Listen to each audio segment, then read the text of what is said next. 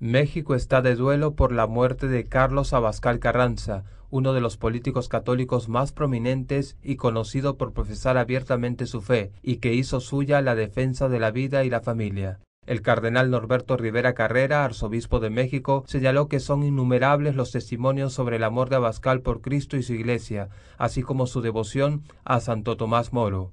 Abascal, miembro del Partido Acción Nacional, fue secretario de Gobernación durante el gobierno de Vicente Fox. Falleció el 2 de diciembre de 2008 a consecuencia del cáncer que padecía. Tenía 59 años de edad. Diversos líderes pro vida recordaron la integridad de este exfuncionario que a pesar de llegar a un nivel muy alto de responsabilidad en el gobierno, no abandonó sus principios católicos. Hasta su muerte fue vicepresidente de Acción Mundial de Parlamentarios y Gobernantes por la Vida.